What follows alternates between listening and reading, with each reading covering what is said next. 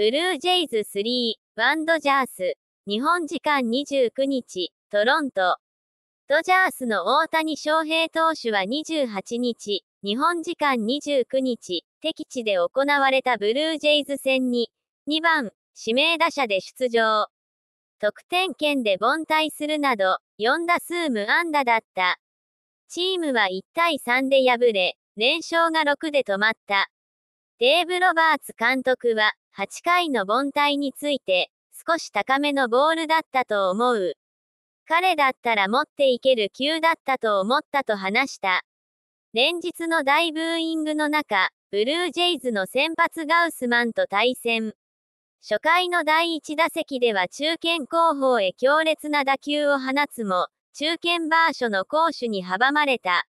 飛距離は402フィート、約122.5メートルで、MLB の公式データサイト、ベースボールサバントによると、本拠地ドジャースタジアムなら本塁打となっていた打球だった。